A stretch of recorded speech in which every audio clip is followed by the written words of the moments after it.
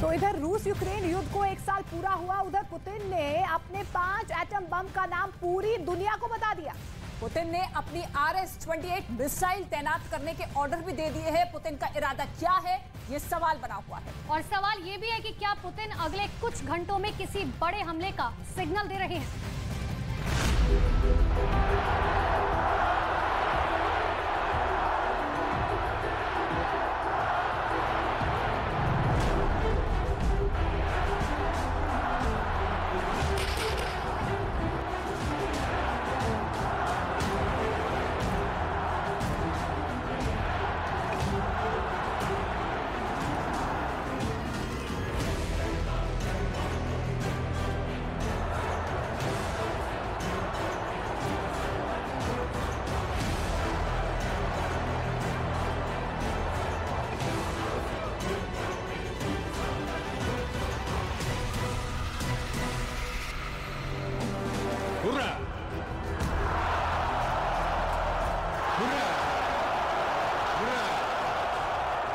Россия!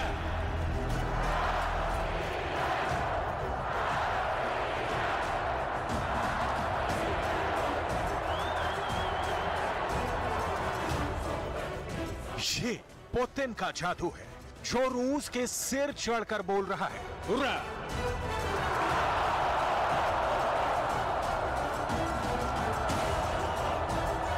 Россия!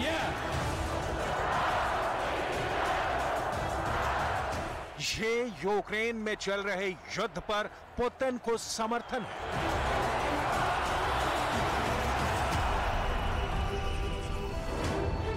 जिसका वज़न और जिसकी धमक ये मजमा साबित कर रहा है। पुतिन का कॉन्फिडेंस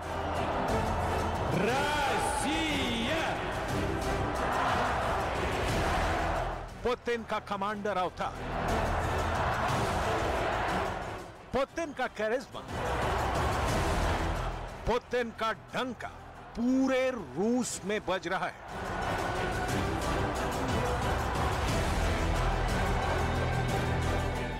ये ऐसा मौका है जो पुतिन को बताता है कि उनके एक एक एक्शन पर रूस की मुहर है। पुतिन की बॉडी लैंग्वेज देखिए। पुतिन का रुतबा देखिए। पुतिन का जोश भी देखिए За единство российского народа! Ура!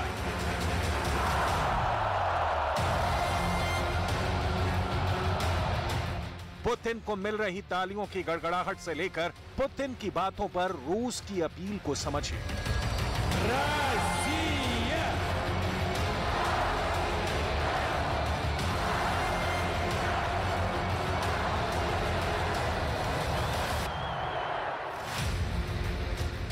पुतिन बहुत अच्छी तरह जानते हैं कि वो क्या कर रहे हैं। मॉस्को के स्टेडियम में पुतिन का ऐसा धमाकेदार concert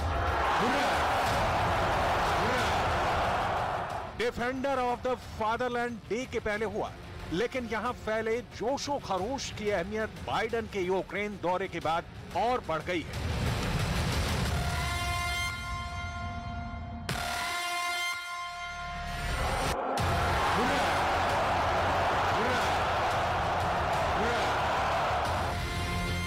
बाइडन बहुत खामोशी से की हुआ है और पुतिन को चैलेंज करके चले गए।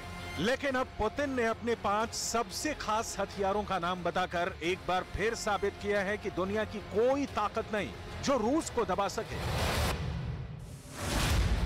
पुतिन ने न्यूक्लियर ट्रायड की बात की है, यानी साफ़ है कि परमाणु हमले के लिए पुतिन पूरी तरह से तैयार है। पुतिन ने सरमत मिसाइल का नाम लिया।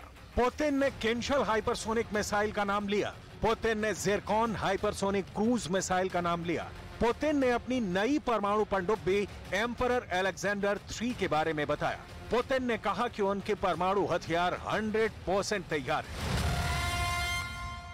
военнослужащих, добровольцев, мобилизованных граждан, специалистов разных профессий, которые участвуют в специальной военной операции. Сейчас наши бойцы героически сражаются с неонацизмом, пустившим корни на Украине. Защищают наших людей на наших исторических территориях. पुतिन ने यूक्रेन पर कई हथियार बरसाए हैं लेकिन अब भी उनके तरकश में ऐसी तबाही वाले तीर हैं जिसका मुकाबला अमेरिका क्या पूरा नेटो नहीं कर सकता इसमें सबसे बड़ा नाम है आर एस ट्वेंटी एट। इस मिसाइल की रेंज दस हज़ार किलोमीटर से भी ज़्यादा है।